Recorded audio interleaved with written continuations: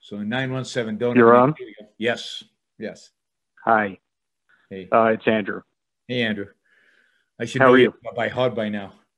uh, I want to be one of the name people, but I don't know how to do it. I always record my name, but somehow it's a number.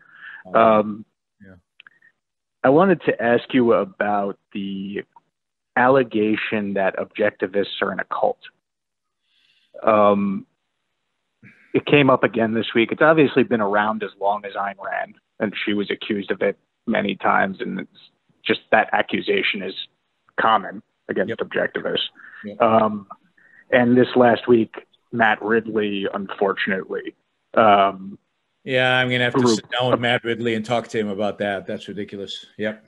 Yeah, I wanted to ask you your perspective on it because the way I see it is this that there's three different ways it's made. One is dishonest because I think that Ayn Rand's and objectivism's intellectual consistency haunts people who, you know, need to find a way out of taking the philosophy seriously Yep. and Yep. so they lodge an unfair accusation. And I just see that as dishonest. Secondly, I would the second way I would say it's made is dishonest. I- I- I would say there's two categories of dishonesty. One is maliciously, and one is non-maliciously. Like what Matt Ridley did, I didn't see as malicious, but I do think it's dishonest personally because I think he should know better. He did, he and- but- I- Yeah, I mean through his exposure to you and just his and Alex- general knowledge. Yep, absolutely. it's unfair. But then there's some people who make it very maliciously, obviously, and they're being dishonest. And then there, I think that somebody could make the allegation honestly just because they see that it, it you know, the philosophy is different and it's small and it's fervent and it has somebody at the head of the, you know, philosophy who we all revere tremendously. And these are all characteristics that a person could probably honestly confuse with kind of a cultish mentality. So I wanted to ask you, what do you think is the proper response and way to counter when that allegation comes up, both in kind of a dishonest and an honest context? Like how how would you respond, and how would your response change? Well, I mean, I, I, I, I think, I think your differentiation is right. I, um, and I think that part of the, part of the issue is people, and this leads them to this dishonesty, which is uh, the, the, the more, um, the non-malicious one, the more, a- a- and they're not used to people holding principles and being assertive about the principles and sticking to those principles consistently. And they associate that with either religion or cult and if they can't pin it on religion then they pin it on they you know they they they pin it on a cult and uh, i mean my guess is that's what matt ridley thinks of it although i'm i don't think matt actually thought of it. Otherwise i'm not sure he would have said it. Um, but I, you know i think the way to combat it is to ask them what they think a cult is.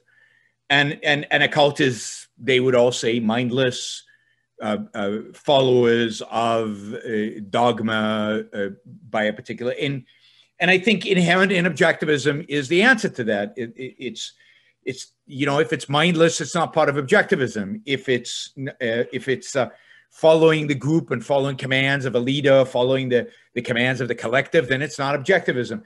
The anti-cult is built into objectivism. Is objectivism now? People might treat objectivism as a cult, and I certainly know object people who call themselves objectivists who behave like cult members.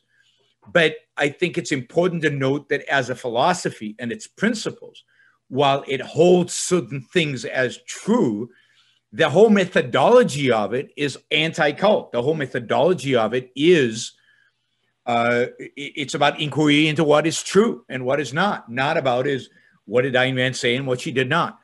So uh, it- it- yeah, I mean, there's no basis for it. It- it- It's complete nonsense. The only basis for it is that some people that call themselves objectivists behave as if it's a cult, and that's tragic. Can can you expand on that a little in the sense that there might be some particularly younger objectivists who don't know they're behaving or giving off a certain vibe of you know, being. I mean, so how, how, does somebody not cult, give off that vibe? The vibe of a cult is is is unthinking. It's dogma. It's quotations. It's uh, constantly quoting rather than using your own language. It's uh, you know, as soon as somebody disagrees with you, shutting them down because you can't really argue because you don't really know the point because all you can do is shout back a quotation from Ayn Rand. Yeah. Um, it, it, it's things like that, and and there are various levels of it um, that uh, that you know people express, but it's generally an unconnected defense of Ayn Rand, no matter what, detached from any kind of reality or any kind of knowledge and uh, that comes across as cultish. Uh, I, I, I, think, um, you know, I think everybody dressing the same, although I don't see that among objectivists. I think everybody chanting the same thing. I think anybody, anything that subverts uh, what people consider individualism comes across as cultish. And, and uh, you should be yourself. You should use your own language. You should try to explain. You should use, you should refer to Ayn Rand when relevant, but don't use it as a crutch um, be willing to make mistakes, be willing to concede that you make mistakes. Uh, so those are the kind of things that you need to do in order to just live in a way that that does not promote this notion of it being a cult. Thanks, Andrew. What we need today, what I call the new intellectual, would be any man or woman who is willing to think.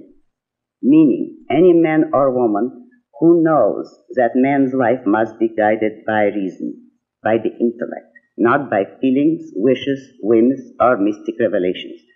Any man or woman who values his life and who does not give, want to give in to today's cult of despair, cynicism, and impotence, and does not intend to give up the world to the dark ages and to the rule of the collectivist brute.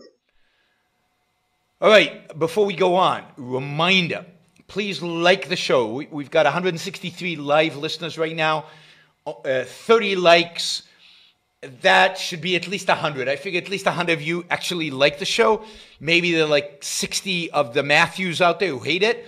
But, but at least the people who are liking it, you know, I want to see I want to see a thumbs up. There you go. Start liking it. I want to see that go to 100. All it takes is a click of a, a click of a, a thing. Whether you're looking at this uh, and, and you know, the likes matter. It, it's not an issue of my ego, it's an issue of the algorithm. The more you like something, the more the algorithm likes it. So, you know, and if you don't like the show, give it a thumbs down. Let's see your actual views being reflected in the likes.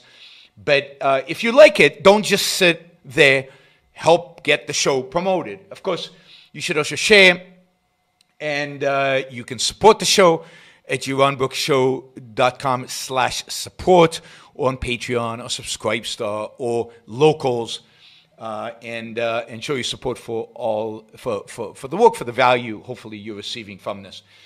And, uh, and of course, don't forget, if you're not a subscriber, even if you, even if you just come here to troll, or even if you're here like Matthew to defend Marx, uh, then uh, you should subscribe because that way you'll know when to show up. You'll know what shows are on, when they're on.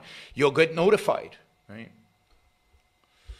So, um, yes, like, share, subscribe, support. Like, share, subscribe, support. There you go. Easy. Do one or all of those, please.